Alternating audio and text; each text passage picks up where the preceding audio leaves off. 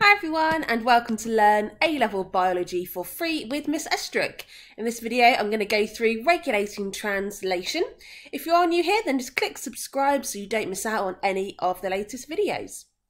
So RNA interference or RNAi, that is the process of regulating translation.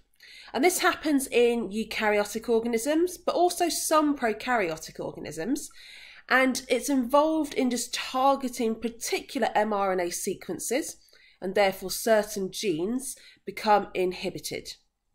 Now, the way this happens is an mRNA molecule that's already being transcribed gets destroyed once it's in the cytoplasm before it can be converted or used to code for a polypeptide chain.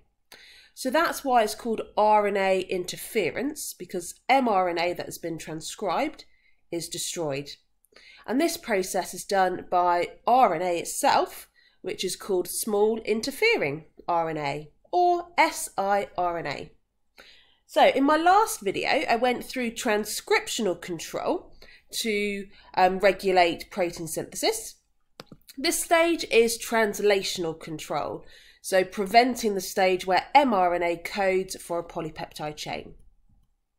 So just to go through some key terms and looking at how it all links together, transcription is the process that results in the production of mRNA. Translation is the process where mRNA is used to code for a polypeptide chain. Now that is protein synthesis in a very basic summary, but I'll link my whole video up here so you can watch the full details of protein synthesis.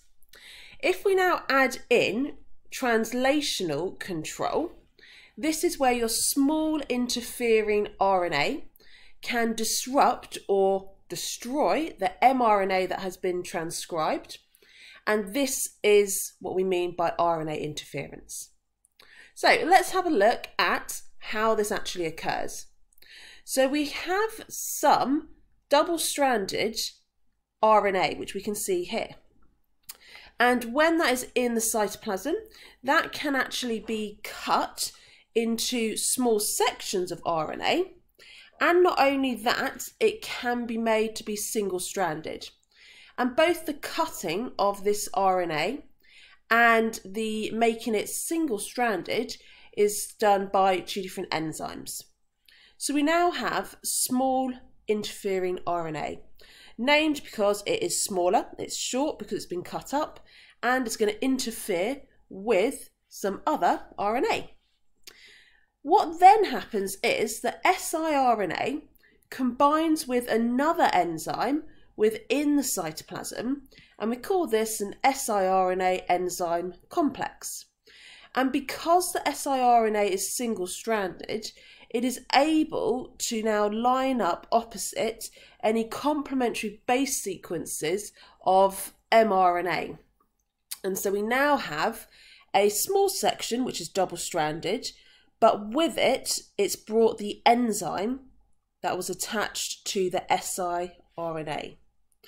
And when that siRNA enzyme complex binds to mRNA that has just been transcribed, the result is the enzyme will cut that mRNA.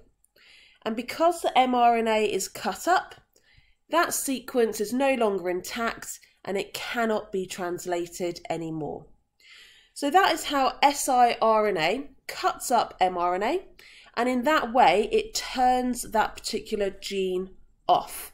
And that gene cannot be translated, and therefore the polypeptide chain is not made.